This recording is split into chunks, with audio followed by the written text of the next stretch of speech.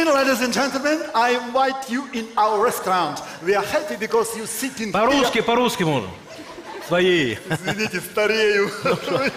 Вы хорошо выглядите. Спасибо, Да, спасибо. да. Мы рады видеть вас э, в лучшем ресторане Я рад. нашего города. С красивым романтическим названием Everybody Together People Continue Tonight Connect Fantasy. Я постараюсь запомнить. Хорош. Если честно, мы раньше назывались Чебуречная номер семь.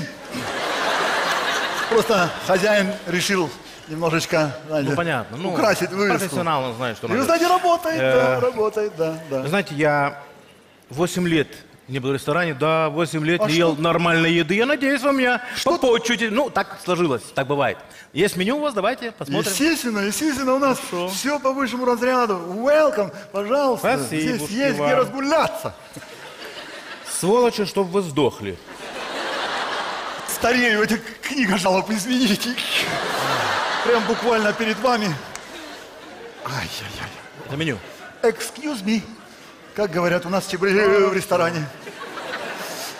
Так, А может, смотрим. вы знаете, может я сначала оглашу вам весь список, чтобы вы не напрягались? Вам- Хорошо, давайте. У нас сегодня есть азиатский буябус, хамон берика пура де белоте, фрикасе из фазана, яйца кокот шампиньоновом фритюре, фуагра, круазе, бризоля, эскаргон, салат латук шариками сорбе, велюте, раков и э, отборный осьминог с цедрой юзу и батаргон, карпаччо. Вы не поняли, мне просто пожрать надо, все.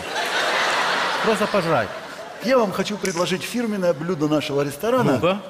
Макароны по-флотски. Да, ну, погодь. Может быть, дойдем. Посмотрим меню. Так, морковь, протертая тряпкой. Знаете, слегка горчит. Салат витаминный. Витамин С 5 таблеток, ундивит 3 таблетки, рыбий жир. Это все у вас на столе уже. Ага, хорошо. Лосины в масле. Вы знаете, масло есть, лосины кончились. Это ешьте сами. Так, посмотрим, что у нас на первое. Вот я вижу первое блюдо. Щи зеленые. Это со щавелем, да? Э, ряска.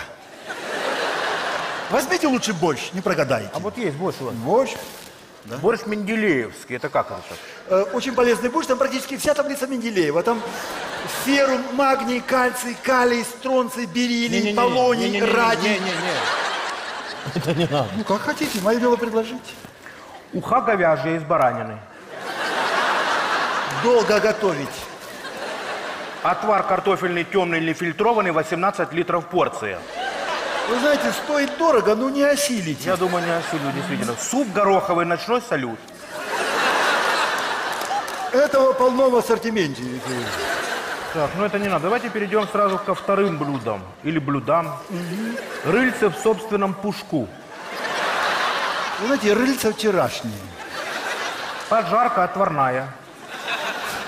У нас в меню вообще никогда этого не было. Повар поставил так для я красоты. понял, Мы да. ничего не жарим. Почки отбивные по-милицейски. Будут сразу после футбольного матча. Свинина хрюс с картофелем фри. Старый завод. Так. Вы знаете, я, наверное, вас удивлю. Я бы вам рекомендовал взять макароны по-флотски. Я где-то уже это слышал. Так, что вот из горячего? Чай, Это попозже. естественно. А это что за блюдо? Слезы Киркорова. Болгарский перец с луком. Понятно. А почему вот салат из редьки у вас называется Максим? Горький, но очень хорошо идет с макаронами по-флотски. Что вы пристали с макароном по-флотски? Я уже слышал это. Суши есть у вас? Естественно, естественно. Лучшие суши в городе. Палочки есть? Естественно. У нас недавно была санэпидемстанция, у нас столько Чего? палочек.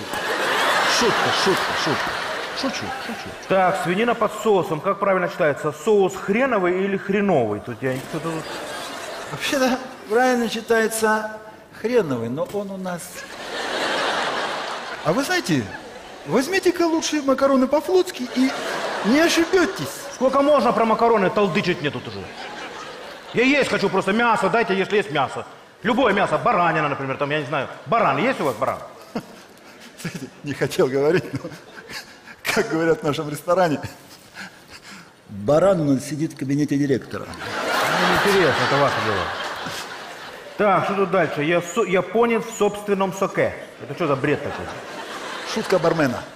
Уже уволен. Я надеюсь. Уже уволен. Камбала на собственном боку. Не на том боку лежала, отлежена. Может, взять все-таки э, макароны по-флотски и не мучиться? Задолбали макаронами по-флотски. Сколько можно там этом том же уже?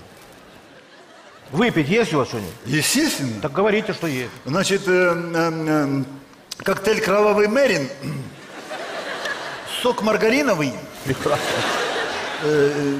сок с березовой мякотью, Фирменный есть напиток какой-то? Обычно в Естественно. ресторанах есть фирменный напиток.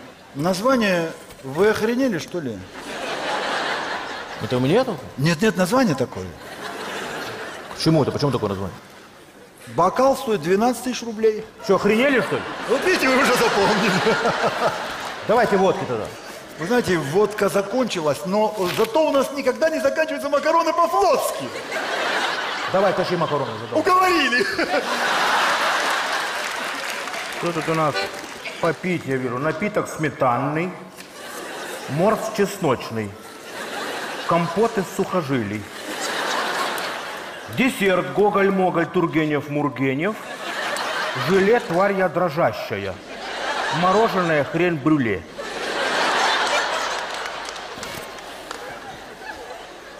С пылу с жару повар очень старался. Пожалуйста, приятного аппетита.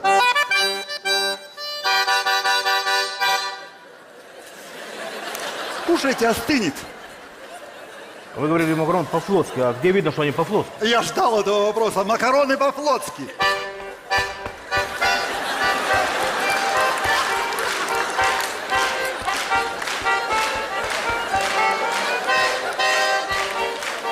Кушайте. А ты знаешь, почему я не ел 8 лет нормальной пищи? Почему? Я сидел в тюрьме. Да ладно. Да. И спроси меня за что? За что? За убийство официанта. У меня же во втором зале люди ждут, там все остывает. Ой-ой-ой, ой-ой-ой.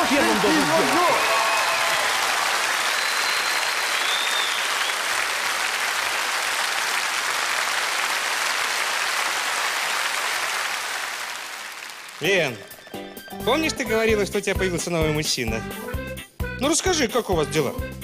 Ну как как? Встречаемся. Мгм. Уже третий месяц. Третий месяц, как интересно. Ну-ну-ну, и что? Ну что, что?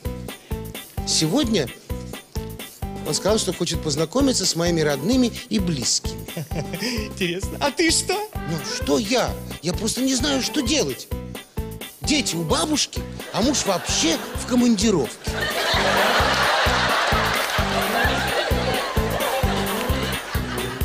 Он выйдет к вам с душою на распашку.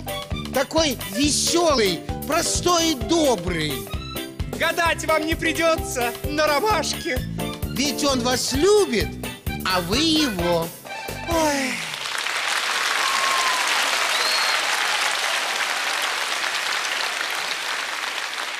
Все женщины рождаются ангелами.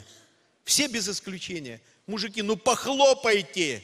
Не мне, женщинам.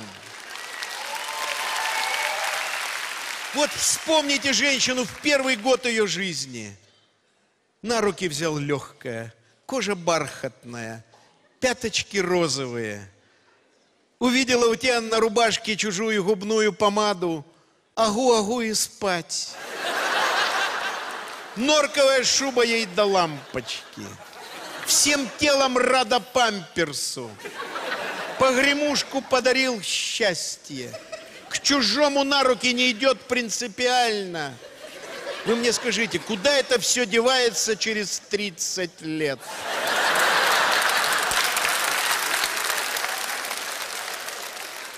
Когда-то чудный Зиновий Высоковский подарил мне вот такую историю коротюсенькую. Папа, почему у евреев национально считают по матери?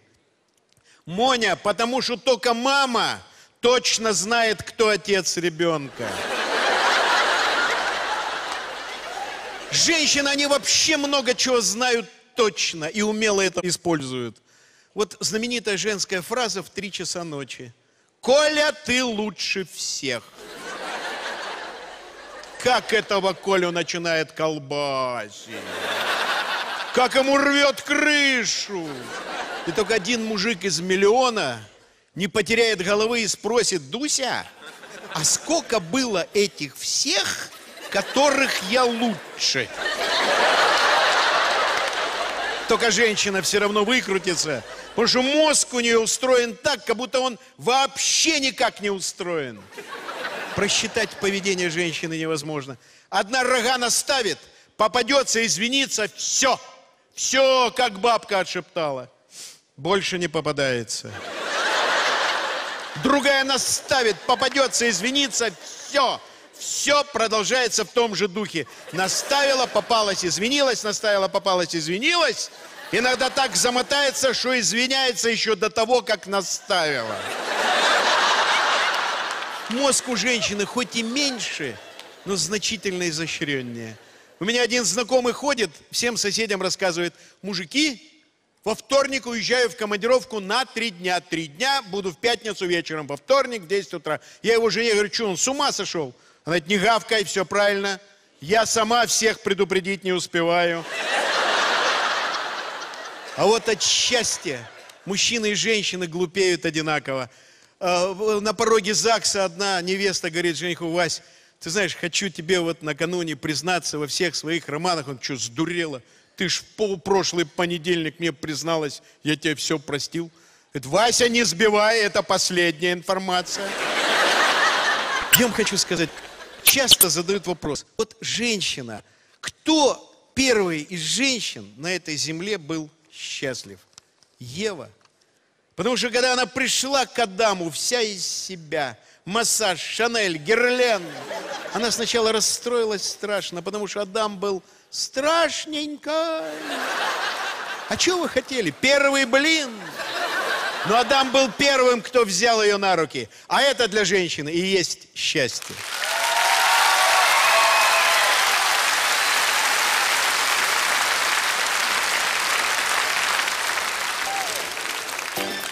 Эх, Михалыч, слыхал?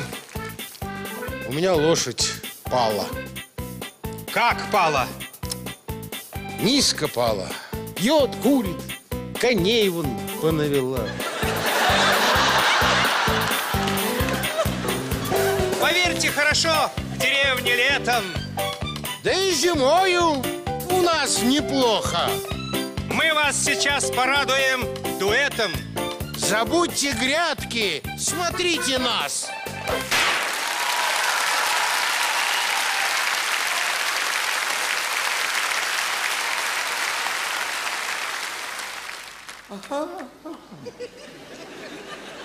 Вы ко мне вас вызывали? Да, м- меня, Петра Семеновича, трогали, жену мою Валентину трогали, но она не смогла.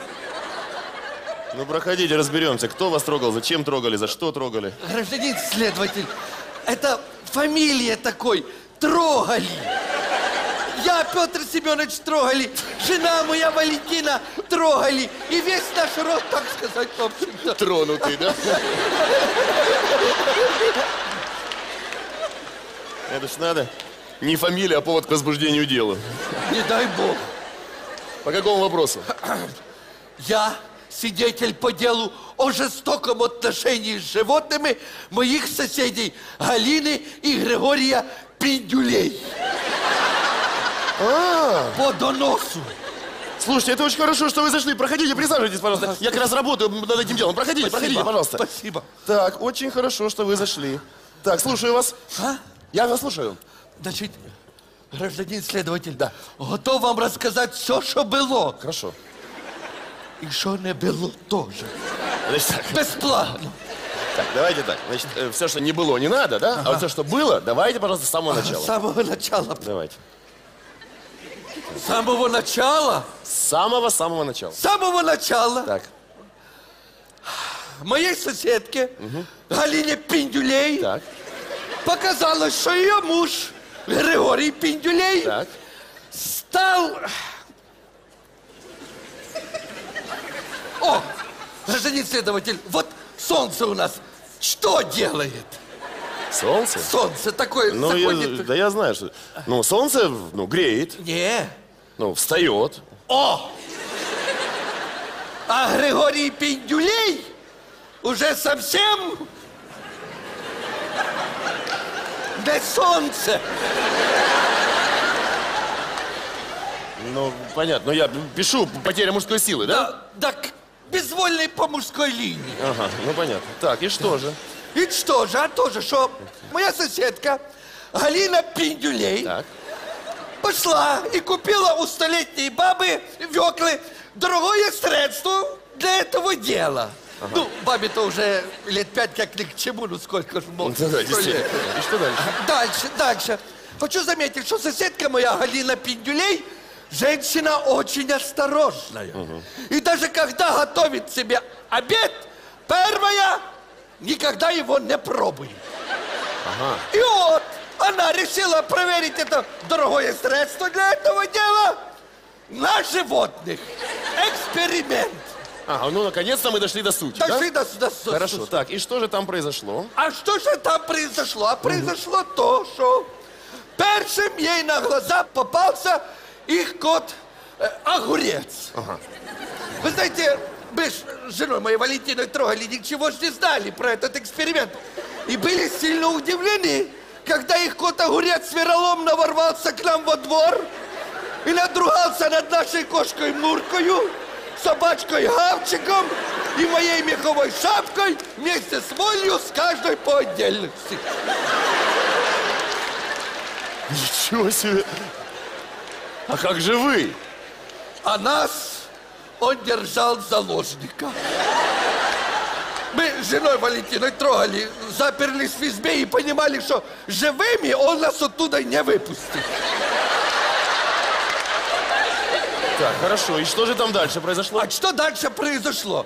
Значит, э, значит, следующее... А, э, соседка моя Галина Пиндюлей пригрозила коту вилами, и больше мы его не видели. Ага, то есть я пишу, кот пропал. Да, но ходят упорные слухи, что в городе появился маньяк и сильно злобствует. Так, это все домыслы. Да. Давайте дальше. Дальше. Дальше. А следующий был петух Гарик. Сначала все были довольны. Куры несли с гирляндами и яиц, а некоторые сплошной яичной колбасой. Но когда над нашим селом перестали летать птицы и начал нестись крупный рогатый скот, мы насторожились. Ничего себе!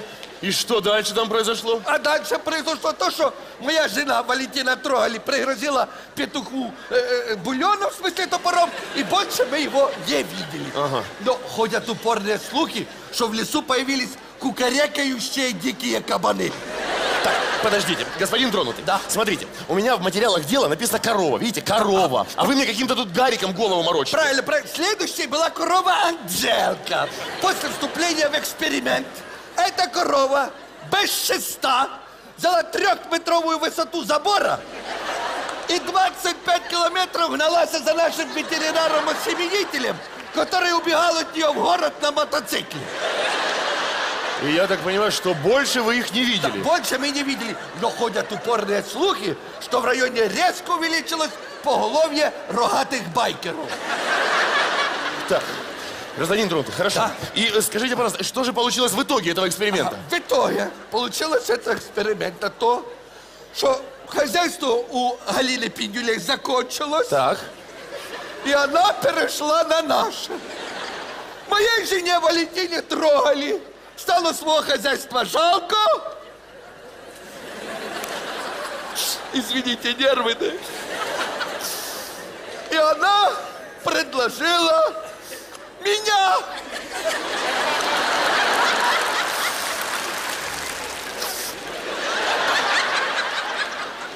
И что?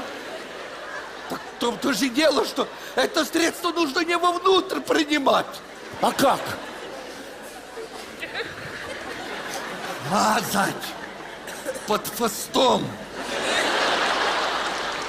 И? Что и я не дался. Почему? Да потому что к этому времени информация просочилась. И к нашему двору начали стягиваться отряды страждущих женщин всех поколений. А мужики, наоборот, приняли круговую оборону и взяли лицензию на отстрел бешеного животного. Подождите, ну, ну эксперимент ведь не завершен. И, кстати, где это вот эм, вещественное доказательство? А я его в, в бутылочке герметично закрутил, в огороде закопал и забыл где. Внимание, опергруппа на выезд. Прихватите спецназ, ОМОН и лопаты. Я буду лично руководить операцией. Гражданин следователь, я бы вам этого не советовал. Почему? А вдруг ваши внутренние органы этого не выдержат, и мы вас больше не увидим. Без Гарика мы еще как-нибудь обойдемся. А как же без вас? Опергруппа Да на выезд. сорвили. Вот, ждите здесь. Опергруппа.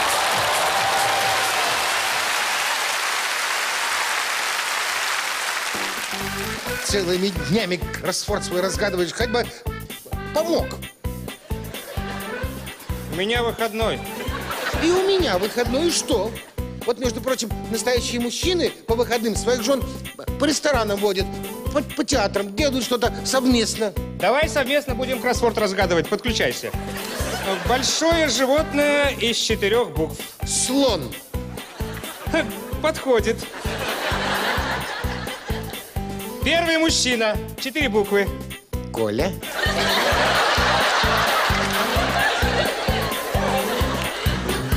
Писать, чтоб не смешно, он не берется.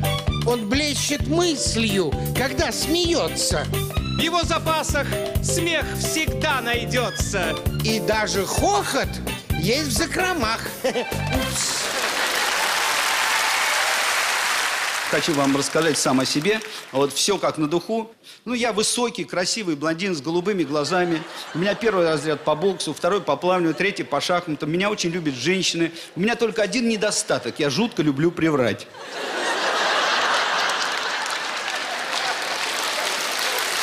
А если говорить серьезно, то я не высокий, не блондин, не с голубыми глазами, спортом вообще теперь уже не занимаюсь. И женщины меня действительно любят, но только беременные. Кто-то им сказал, что в этот период надо общаться с высокими, красивыми блондинами, с голубыми глазами. Видите, меня снова заносит, да? Нет, ну если говорить серьезно, то, конечно, вас интересует мои отношения с юмором. Я вам хочу сразу сказать, что юмор у меня, на мой взгляд, от дедушки. Дедушка мой обладал очень хорошим, таким тонким юмором. А, Мне, я сам его не, не помню, а вот тетя мне рассказывала, что он каждый вечер сидел за столом, пил чай, и приговаривал, какой хороший, вкусный, полезный чай. Вот если этот чай пить 120 лет подряд, можно долго прожить. По-моему, хороший юмор, да? А когда он заболел, и к нему пришел доктор, сел на постель и говорит, ну что у нас болит? Знаете, как доктора иногда говорят, что у нас болит? Дедушка сказал, не знаю, что у вас, а у меня нога, на которую вы сели. Ну, я, как все нормальные дети, закончил там школу, там, и закончил авиамоторный техникум, потом учился в Московском авиационном институте. И как э, один э, писатель э, известный объявляет меня, он говорит, вот странный человек Измайлов, 6 лет учился в авиационном институте, до сих пор не может понять, почему самолеты летают, а крыльями не машут. Но надо к своей чести, я а, ни одного дня не проработал в авиационной промышленности. И заодно это должны вы мне быть премного благодарны. Сразу после окончания института я занялся тем, что я стал писать для э, артистов эстрады и для радионяни. И я даже первый сюжет, с которого начался «Яралаш», мы написали вместе с моим соавтором Валерием Чудодеевым. Вы, наверное, помните, такой сюжет был, с которого начался «Яралаш». Там вот такой Спартак Мишулин и мальчик такой рыжий, они у лифта разговаривают. Классный Днепр при клевой погоде, когда кочевряжи выпендривались. Пилит он сквозь свои горы клевые волны свои. Не гикнется, не накроется. Вылупишь зенки свои, откроешь варежку и не знаешь, пилит он или шпандорит. Редкая птица со шнобелем дочешет до середины Днепра. а Если дочешет, то гикнется и копыта отбросит.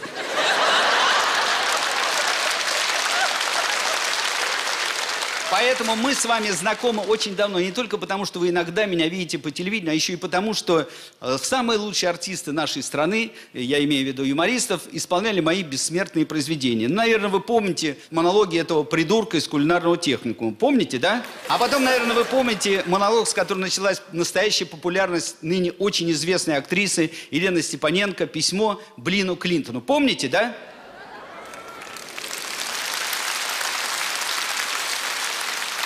«Войну и мир» помните?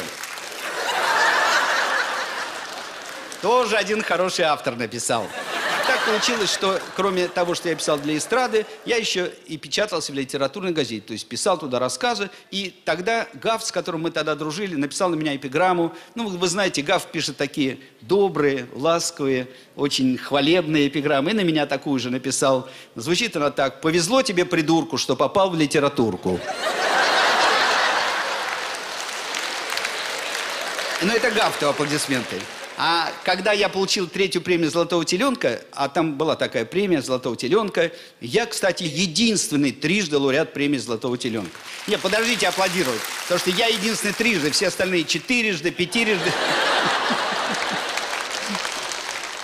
Ну вот, и, значит, я стал ездить с командой этого клуба «12 стульев», мы всюду выступали, ездили, нам платили, естественно, деньги, причем такие хорошие деньги платили, а, сколько писатели ездили. А, вот. И вот это улучшившееся материальное положение позволило мне жениться. Жена мне досталась очень симпатичная. У нас в семье так, вот что бы ни было, во всем виноват я. Однажды сижу, вообще никого не трогаю. Она входит в комнату с чашкой. Чашка вдруг выпадает у нее из рук, разбивается. Она на меня так зло смотрит. Я говорю, что, не придумала ничего? Сижу, молчу. Как она закричит, молчишь тут под руку! Ну вот так вот мы э, писали в литературной газете, печатали. Кто читал, тот знал наши фамилии. В лицо нас никто не знал. Но в 1978 году начала выходить передача «Вокруг смеха». Писатели-сатириков стали показывать по телевидению, стали нас узнавать на улице. Но у меня узнаваемость какая-то странная, до сих пор она такая же. Недавно ко мне подошла одна женщина, протянула мне книжку э, Коклюшкина и сказала, распишитесь, пожалуйста, Аркадий Михайлович. Я понял, что она меня спутала сразу и с Коклюшкиным, и с Арканом. Думаю, ладно, буду на этом же уровне. Написал Семен Альтов. Она покраснела и сказала, спасибо вам, Семен Альтович. Ну, что вам еще хочу сказать. Ездил в разные страны, выступал на оригинальном языке страны, и всюду меня понимали, и в Азербайджане, и в Киргизии, и, и в Таджикистане, и всюду. Ну, вот в Англии произошла какая-то заминка, конечно. Англичане очень плохо знают свой родной язык. Ну, подумайте сами, я месяц там жил, месяц разговаривал по-английски, хоть бы кто понял. За это время я успел написать 15 книг, написал, наверное, штук 400 монологов для самых разных артистов. Ну, и фильм даже один. Сейчас две пьесы идут э, в Москве. Но самым своим популярным произведением я считаю одну маленькую миниатюрку. Дело было в Ялте, я вышел из гостиницы, у входа стояли двое, мужчина и женщина. Они, э, видно, только что познакомились, и женщина так кокетливо говорит, э, сколько мне лет, угадайте. Он говорит, даже представить себе не могу.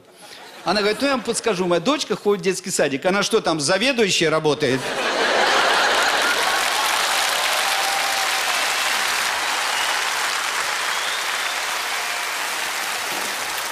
Скажите, сколько стоит сделать рентгеновский снимок? А вам какой, обыкновенный? А какие еще бывают? Ну, э, можно на фоне моря, пальмы или с обезьянкой.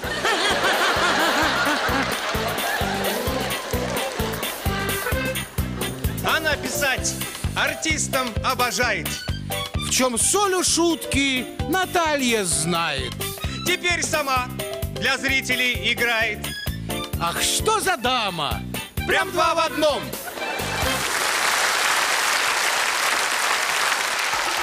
Месяц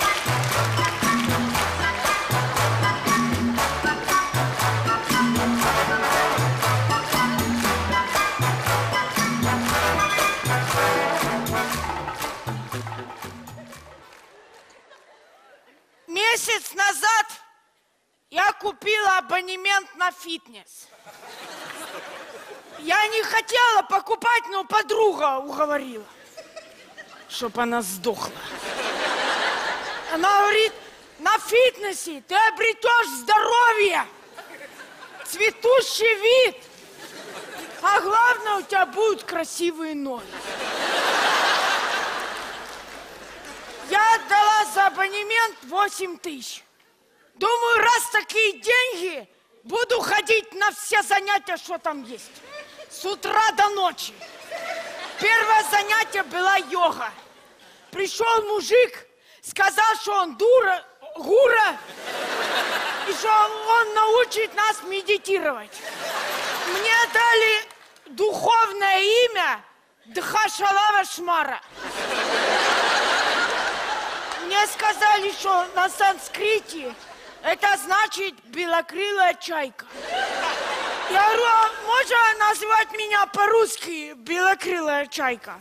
Он говорит, ну что вы, вы Тхашалава Шмара. Я говорю, ну пожалуйста.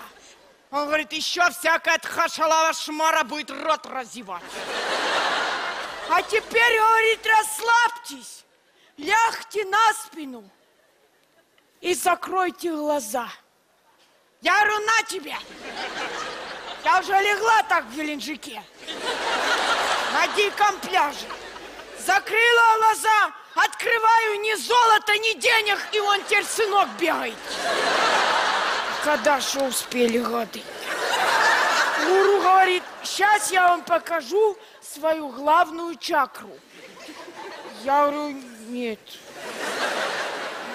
Мне муж разрешает только на его чакру смотреть. Он говорит, все, учим позу мудра суслика.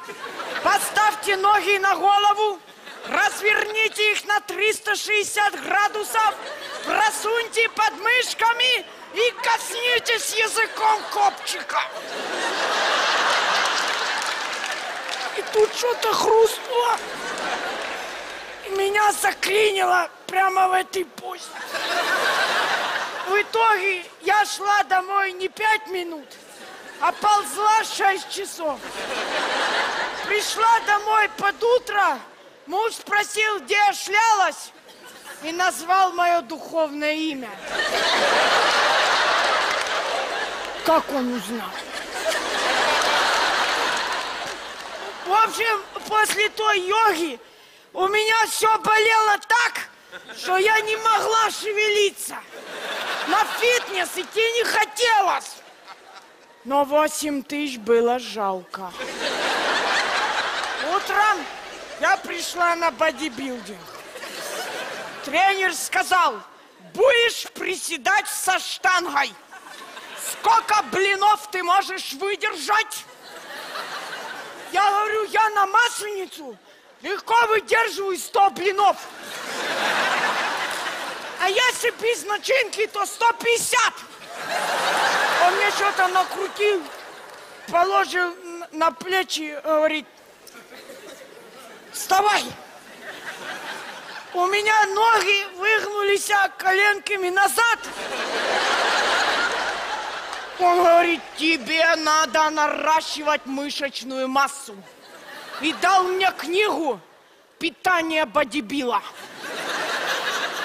А в книге написано, что спортсмен должен питаться не жирами, не углеводами, а белками.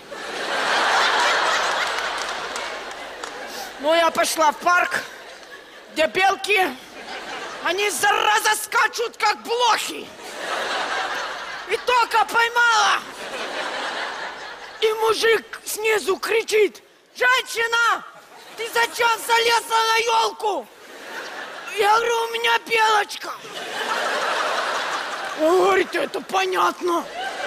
Белочку надо лечить. Я говорю, а что ее лечить? Она здоровая белочка. И тут она меня запалит, цап! Я на землю бряк и потеряла сознание. Очнулась вся в бинтах. Врачи говорят, хочешь жить, месяц лежи, не двигайся. Но 8 тысяч. Утром я пришла на восточное единоборство. Их вел настоящий китайский монах из Шаолиня Иван Петрович Цимбалюк. Он сказал, мы будем изучать боевое искусство ниндзя. Ниндзи, они проникают повсюду и сеют страх и ужас. Я сказала, значит, моя свекровь ниндзя. Меня поставили в боевой спарринг с какой-то теткой. Оказалась наша соседка снизу, которую мы все время заливаем. А я ее не узнала. А Она меня узнала. Бой был страшный. Тетка пыталась отгрызть мне руки, чтоб мне уже нечем было открывать краны с водой. В больнице меня загипцовали, дали костыли, даже думать запретили про фитнес. Но 8 тысяч! Утром я пришла в бассейн. Тренер сказал, что впервые видит в бассейне инвалида. Но к концу занятия число инвалидов в бассейне резко возросло. Ну, я ж плавала с костылями. Не, когда я плавала кролем, брасом, инвалидов было не так много. Но как только я освоила баттерфляй,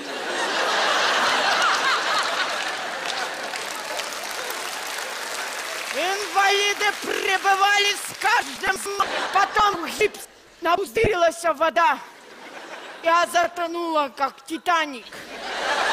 Пока меня откачивали, подбили глаз, вывихнули челюсть, сломали шесть ребер. Но к вечеру я уже обсохла и пришла на бальные танцы. Тренер говорит, а теперь стриптиз dance. Кто лучше всех танцует стриптиз, получит приз. А ты, убогая, даже не суйся. Я говорю, а 8 тысяч отдала? И тут все. Чё ты везде хочешь? Ты позоришь наш фитнес-клуб. Подумаешь, какие 8 тысяч. Я говорю, вы что? Я дайте 8 тысяч. а ты Пахала, как лошадь. На морозе, без выходных. Это пол моей зарплаты. И вы что думаете? Какие-то паршивые костыли гипс помешают мне танцевать стриптиз? Музыку!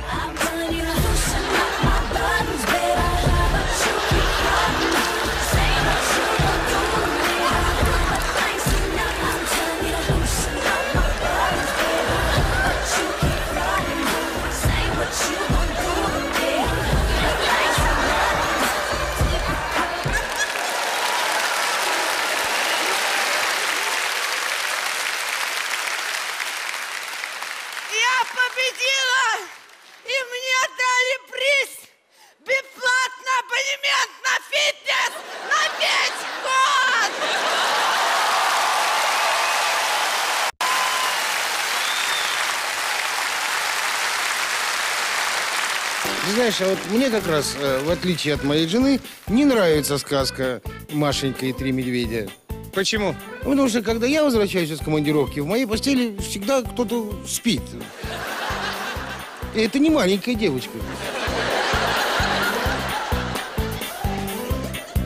Ему не жмут ни тапки, ни ботинки. И в пояснице шнурки не режут. Он с детства не играет на волынке. Зато рассказчик, ну, высший класс.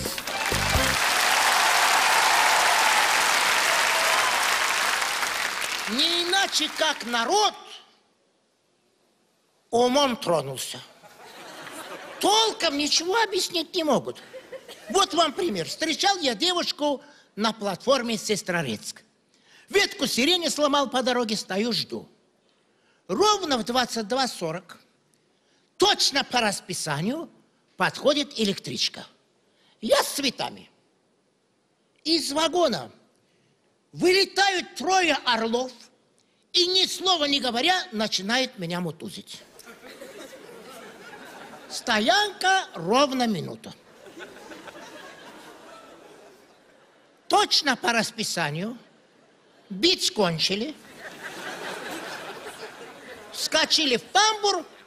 Кричат, передай серому, с ним то же самое будет. Слушай, а откуда мне знать, какому серому? А электрички след простыл. Целую неделю пролежал в больнице, сам думаю, но не в сумасшедшем доме живем. Может, что-то очень важное, а серии не в курсе. Как только у меня это все зарубцевалось, опять пошел на эту платформу встречать девочку. Ветку сирени сломал по дороге. А сам думаю, а что если ветка сирени – это условный знак? Кто с цветами, того бить. От греха подальше сирень выбросил, стою, жду. Ровно в 22.40.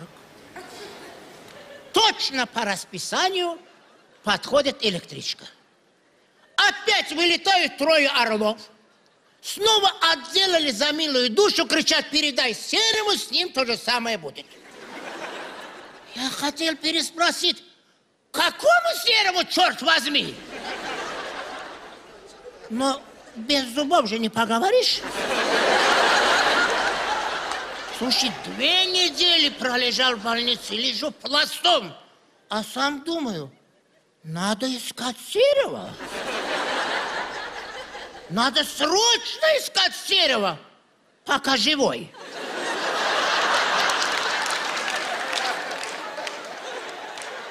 Поспрашивал у соседей. Оказывается, есть такой бандит по имени Серый. Все знают. Улица Школьная, дом 37, корпус 2, пятый подъезд, четвертый этаж, квартира 232. Звоню. Дверь открывает вот такой мужчина. Я как его увидел, сразу понял. Серый. Только жаль, что мне досталось то, что ему полагалось. Я говорю, я, я очень извиняюсь. Я говорю, это вы будете товарищ Серый? Он говорит, я. А какие вопросы? Я говорю, «Э, вы в меня вглядитесь и учтите, с вами то же самое будет.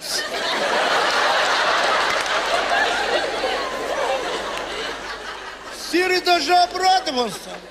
Угрожаешь, падла? И в одиночку меня так отметили, что тем троим из электрички даже не снилось. Я когда дышать начал, я говорю, зря вы распоясались, товарищ Серый. Ребята просили передать, я передал. Он говорит, какие ребята, покажи. Я говорю, не, показать смогу только через две недели. Через две недели он заезжает за мной на Мерседесе, и мы прямо с больницы на платформу. Ну, у меня, у меня уже опыт есть. Я, чтобы накладка не было, ветку сирени дал серому. Ровно в 22.40.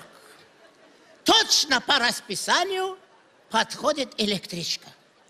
Из вагона, как кукушки из часов, вылетают трое орлов, но я успел сказать, вот серый. Серый пиджак скинул. Пацаны, какие претензии? Эти орлы Кирилья сложили. Говорят, а нам другой серий нужен. Извини, братан, что потревожили. Этот тип что-то напутал.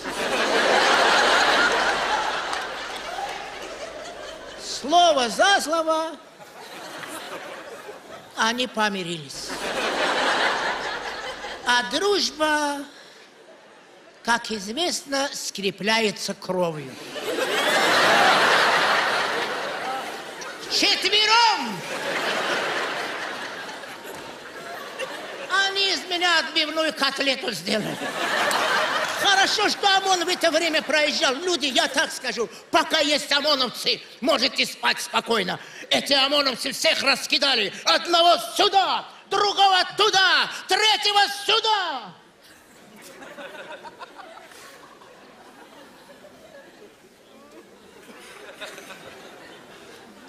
А мне врезали так,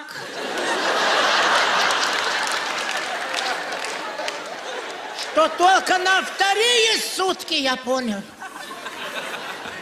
что до этого меня не били.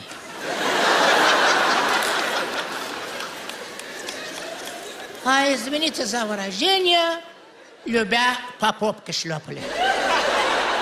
У меня до сих пор перед глазами искры, а в мозгах вечный бенгалский огонь. Праздник, который всегда со мной. Но вывод я сделал. Кто-нибудь, если меня спросит, который час я ноги в руки бежать, голыми руками, меня уже не возьмешь. Как говорится, от греха подальше.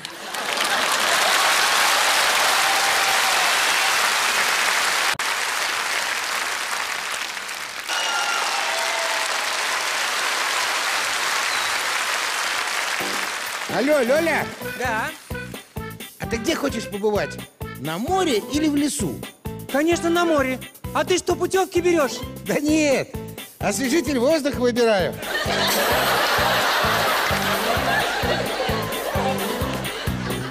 Мы Трушкина встречаем как родного. И как увидим, на сцену просим. А у него сейчас опять обнова. Костюм все тот же, рассказ другой.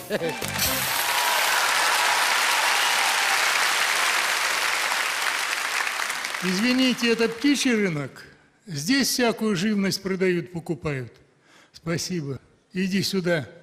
Вот здесь станем. Здесь самый народ ходит. На тебе кроссфорд отгадывай пока. Женщина не нужна вам? Как что? А вот мужчина 40 с небольшим.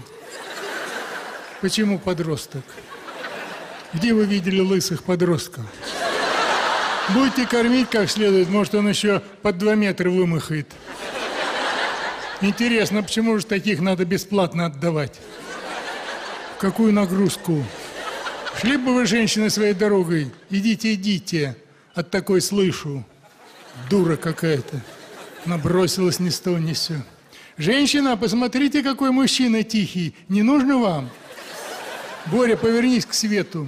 Прошу 100 рублей. Себе в убыток, да совсем времени нет стоять здесь. А уж такой тихий, знаете, иной раз думаешь, не померли. Ну, конечно, походите еще, поприценяйтесь. Только вряд ли дешевле найдете. Или такую дрянь подсунут, что потом всю жизнь плакать будете. Что-то все мимо идут, может, место поменять. Дай-ка я тебе хоть щеки румяными помажу. Стой спокойно. Женщины, вот спортивного типа мужчина. Всего 90 рублей. Пощупать? Ну, пощупайте. Да вы не мните, вы щупайте. Потом кому я его продам помятого? Что вас не устраивает? В очках? Только он только днем в очках, на он их снимает. А вам с какой целью? Ну, не хотите, не говорите. Темперамент? Ну, как вам сказать? Четверть века назад он меня выкрал. Сейчас? Сейчас что же ему меня красть? Да вам с какой целью? Ты женщина. Господи, еле-еле душа в теле, все туда же. Замерз? Потопай руками помаши, а плакать не надо. На жалость меня больше не возьмешь. Что значит не продавай? Сам довел до этого. И не проси, не конюч. Дети здесь ни при чем. Дети взрослые все поймут. Да я и пожалею, у меня сил уже нет, чтобы прокормить тебя. Женщина с козлом, приходите, приходите. Что вы его поставили на самой дороге? Места вам мало, а то моего не видно. Я не кричу, я вам спокойно говорю. Берете, женщина, берите, он не капризный, ешь, что дадут, а то и пропустит день. Что ты делаешь, что ты делаешь, а? Ты зачем ноги колесом согнул? Ты зачем глаза закатываешь? Дурачком прикинулся. У тебя дети взрослые, а ты стоишь слюни пускаешь. Зря стараешься, тебе за умного и так никто не примет. Бабушка, не надо ему милостыню подавать. Это он улыбается так. Заберите мелочь, заберите. Что, деточка? 80 стоит. А тебе зачем? Выкупить на свободу выпустить? Он, деточка, погибнет на свободе. Не приспособлен ни к чему. Женщина за 70 не возьмете, от своего не знаете, как избавиться. Замолчи, я сказала, не трави душу. Что ты верой и правдой, что у нас все впереди. Ты еще про горы золотые расскажи. Прибавить ему обещали. Молчи уж, не доводи меня. Женщина вас спрашивает, почем козел. Меня? Мой вот этот. Про это вы и спрашиваете? 70. 70. Дорого. Так это рынок, милая моя. Совсем уж обнаглели. А вырастить его, а одеть, обуть, а в люди вывести. Такого же при входе за 50 продают. Что же вы не взяли, сэкономили в двадцатку? Нет, 70 без одежды. Зачем вы говорите, что без одежды ничего не останется? Ну, думаете, а то мне уходить пора. За 75 со всей одеждой берите. Прощай, Боря, вспоминай иногда. Это не ум рабочий костюм. Выходной есть. Этот же. Куда же вы, женщина? Надо же, почти сторговались. Боря, посмотри, сколько времени. Шесть скоро. На сегодня уже ничего не получится, расходятся все. Женщина, проходите, что вы на него так горько смотрите? Отводите мне. Покупать покупаете, а цену не спросили. Все равно? А ваша какая цена? Нет, а ваша? Ну, для начала хоть. 200? 250? Нет, я не к тому, что мал. 300. Да вы успокойте, женщина. Идите сюда, а то народ собирается. Что уж вы такого увидели в нем особенного? Ну вот, сами говорите обмылок, а таких денег не жалеете. Лучше без денег да ни одной? Конечно. Да тоже ведь какой попадется. Нет, конечно, одно еще хуже. Богатство богатством, а внимание ласку не купишь. Ему вот скажи, надо для семьи с крыши прыгнуть, он ведь прыгнет, не задумается. Что вы говорите? 400? Да я не к тому веду. Вот вы сказали обмылок. Это он сейчас такой стал, а молодой был. Он ведь меня выкрал, правда? Никого не побоялся. И тогда здоровья не было, а все-таки метров сорок на руках нес. Может, тогда уже и надорвался. Не продается он, женщина, нет ни за 500, ни за 700. Вы уж извините. Что ты улыбаешься, стоишь? Обрадовался. Пошли домой. Ну что же ты, идти не можешь? Господи, мама, земля тебе пухом предупреждал ты меня. Ну иди на руки. Прижмись. Согрелся? Спит уже. Ну и ладно, ну и ничего.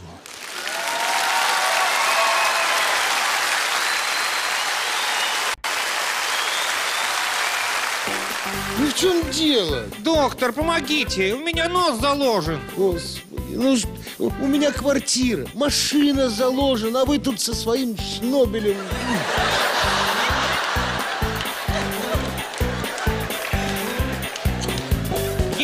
Солнечные ванны и морские. И те, и эти весьма полезны.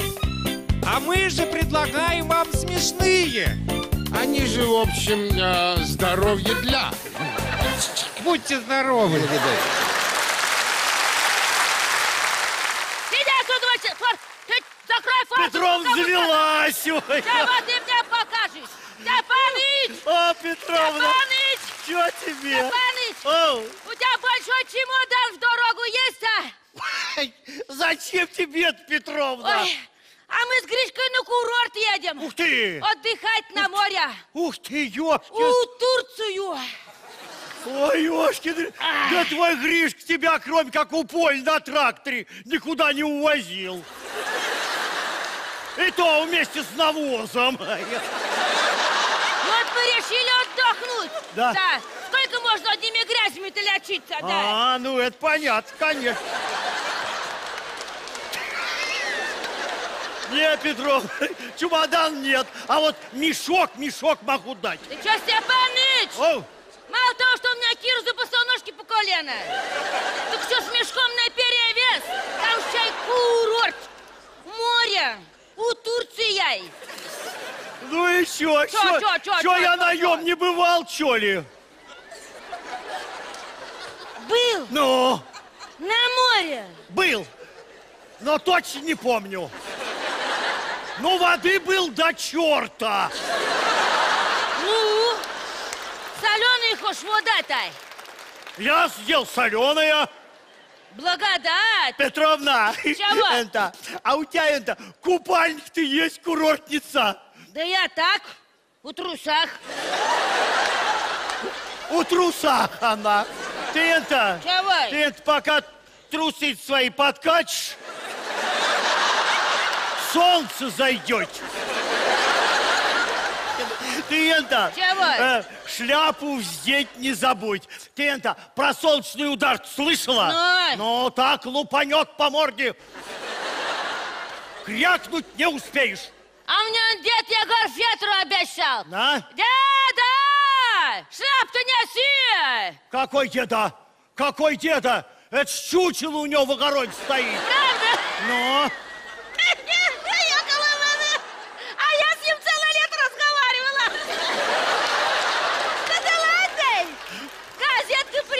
А хорошо. Ну, еще лопухами прикройте. Ну, так и быть. Ладно, так и быть. Я тебе это, свою шляпу дам. Которую? На. Ту, что из меха ежиков? Или которая гнездо с яйцами? А что тебе яйца? Вместе с ими оденешь. Ага, ага. Побьешь, маска будет. Ага. Кожу лица подтянешь. Ты лучше смотри, Чего? чтобы твой этот лопоухий не шатался там по борделям, казино, столовкам всяким. Не, у меня там никогда не ищет. Ну и хорошо. Я даже думаю, На, не подзаработать ли мне там в бордельном рабстве?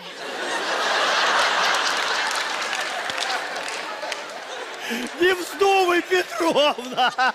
Ты это, на себя-то посмотри. А что такое? А что такое? Останешься должна туркам.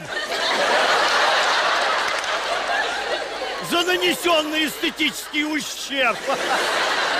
Ага, Степан, сейчас я без работы ты не могу. Ну ты это, Чего? ну, пособирай там колорадских жуков с кактусов. Ты мне лучше скажи. Чего? А где вы там жить со своим лопоухим собираетесь, а? А Гришка сказал в пятиконечном отеле. Ух ты! С видом на удобство. По системе все включено, все бесплатно. Вот только выписка за свой счет. А где он у вас свой счет? У вас с Гришкой 0-0 не в вашу пользу. Ты мне лучше скажи, Чего? как там со жратвой будет. А то я тебе как друг советую. Она, купи у меня кусок сала. Вчера кабанчика закололи. Я сам сдох. Я уступлю. Не надо нам, не надо нам. Гришка сказал, там будет шведский стол. Я понимаю. Я, по... я ж не дурак, а швед нажрутся, а вы? А чё ты завелся, чё ты завелся, а? А то Чё и, за- завелся? то и А, завелся. Да. Кто же вам еще-то что подскажет, а? Ага, И ага. главное, Петровна, Давай. вот это вот э, деньги и все, что ценное, это в одежду зашейте и нигде эту одежду не снимайте. Зашил уж. Молодец. Так тебя жарко будет. Ватников что загорать. Вы что с Гришкой? У Турцию в ватнике, что ли, попрете? Ну так же раз в жизнь нам может, чтобы Гришка ноги свои не пополоскал. Ты что, Да Степаныч? ты что, ну ладно ты! Чего? А Гришка твой, в чем там будет, а? Он, как всегда, На? в своем повседневном костюме. В каком таком повседневном костюме? В тройке. В какой-то тройке? В трусах и в двух носках. В этом и купаться будет. Да ты что? Да это же море, оно же заражено всякими вредными палочками. И у всех встают поперек горла. А главное, Петровна, сюда. Акула, акула. Что, съест? Вот съест, не съест, а обгрызет точно. А Гришка сказал, мы там чай на матрасе будем плавать. Давайте, давайте, позорьте страну-то. Мало вы нам здесь целый год на этом матрасе толкались. Вы еще, еще и в Турцию попрете. Ну ладно, Гриш твой и без этого, э, каждый раз на этом матрасе без Турции плавает. Ты лучше это... Чего? Он, купи у меня резиновую лодку, а? Она у тебя чай дырявая. Мне твоя шерстинка в прошлом году все лето вместо юбки носила. Ну, носила. Носила, носила. Ну, я же уступлю. Не надо нам, не надо нам. Ну, а как же туда добираться-то будете, добираться а? Петровна. Тебя не на твоей же резиновой лодке. Ну, это понятно. Я на самолете полетим. Ух ты! Там за нами стюардесса будет ухаживать. Вот это да! Еду разную разносить, специальные пакеты, если затошнит. Чем кормить собираются, Петровна? Если вас даже затошнит, а? А там, наверху, ты послушай, ни специальных построек, ни кустов нету. Как вы ем-то делать-то будете, а? А что, не выпустят самолета, что ли, а? Не люди, что ли? Выпустить-то выпустят. Назад-то не впустят. Это не курорт, а верная погибель, а? Ну, я ж не говорю. Это что же всю жизнь купалась в своем жабячем болоте, а теперь попросту на море давиться? Не надо на такого такая. Гришка! Гришка! Не надо, сиди там, не собирай Гришка, чемоданы. распаковывай Сиди, сиди, свои сиди, эти вот эти Сиди. мешки-то распаковывай. Ой, ой, Слушай, Петровна, Петровна, ты Ой. мне там, мне свои путевки отдай. Ага. Я вместо вас полечу Ага. и все этим туркам вот прям так в глаза и выскажу. Ой, спасибо тебе, Степан. Пожалуйста, Ой, выручил. пожалуйста. Ты что, можно нас ради, ради нас жизнью рискуешь, Ну, да? это уж как получится. Это что, мы теперь тебе вечные должники будем? Петровна, Ой. ну, конечно, будете должны. Ну, слушай, Петровна, ну, свои же люди-то, сочтемся. Ой. Кто же вам еще-то поможет? Ну, вот, У Турцию полетим, ёшкины, отстань.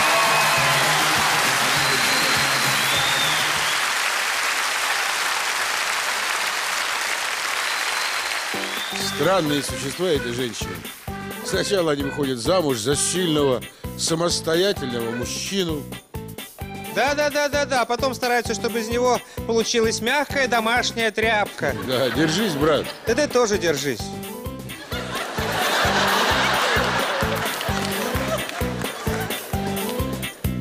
С его талантом лучше жить в Париже. А может, в Риме? Ну да, в Мадриде. А если он захочет жить поближе? Пускай приходит к нам на концерт.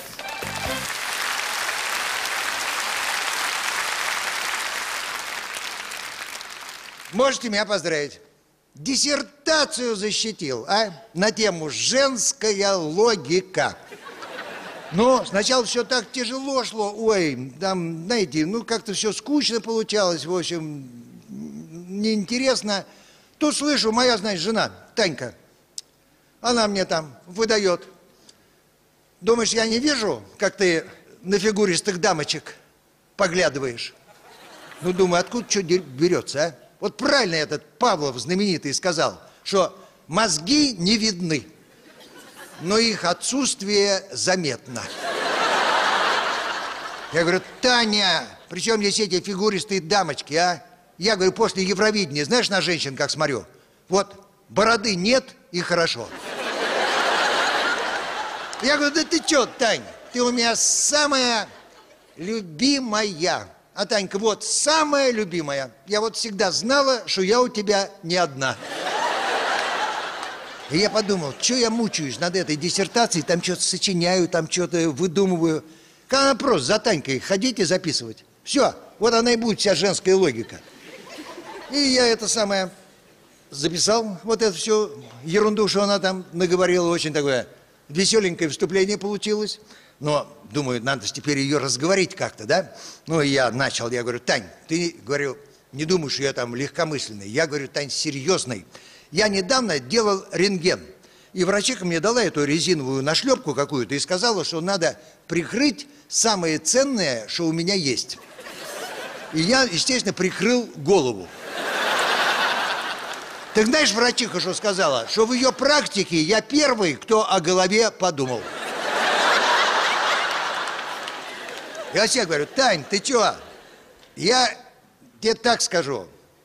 Вот женщины, они вот не объективные к своим мужчинам.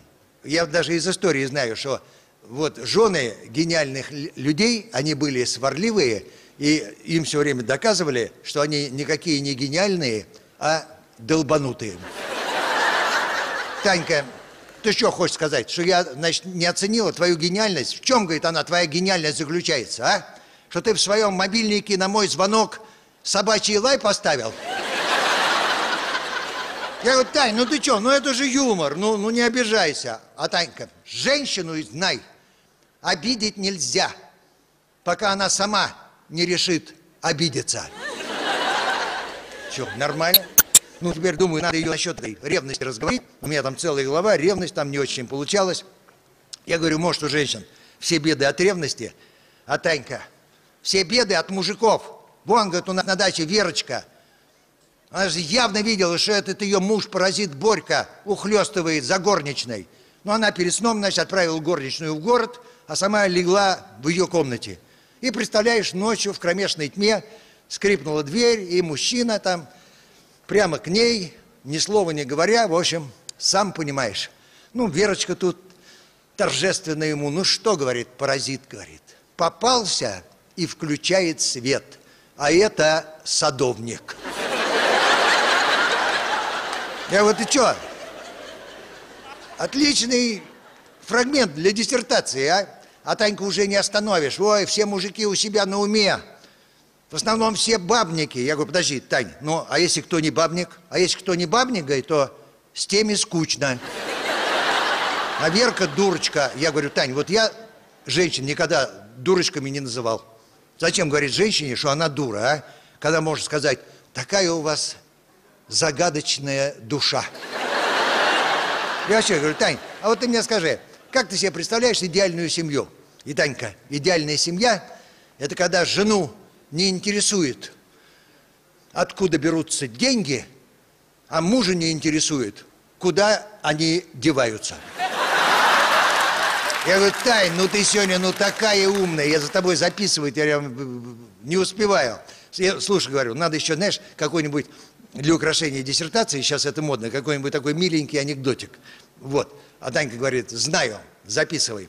На птичьем дворе выбегает петух, какой-то такой разгоряченный, и говорит, ой, кричит, извините, извините, говорит, ошибся, перепутал, в потемках, перепутал, в потемках. И тут за ним выбегает взъерошенная утка, ничего страшного, ничего страшного.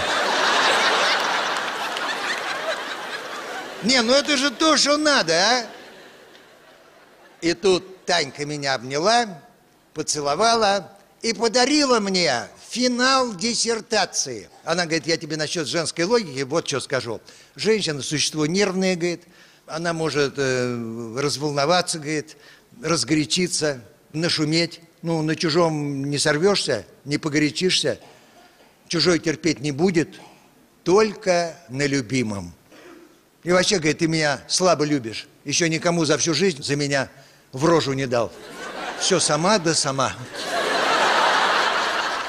И тут я ей простил все мои потраченные нервы. И я понял, за что мы их любим, за их женскую логику. У нас все по правилам. Они несут не поймешь что, но в результате всегда правы. В общем, диссертация прошла на ура. Все говорили, какой я очень умный, а я не возражал. Конечно, умный, если сообразил за Танькой записывать. И теперь я вот за свое будущее спокоен. Да. Если надумаю докторскую писать, посажу Таньку напротив себя, разговорю ее и под бутылочку шампанского за вечерок докторскую и накатаем.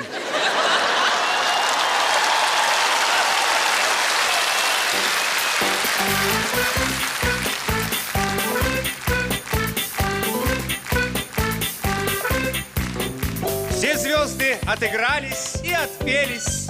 Оттанцевались и разлетелись. Концертик был сегодня просто прелесть. До новой встречи! Мы позвоним!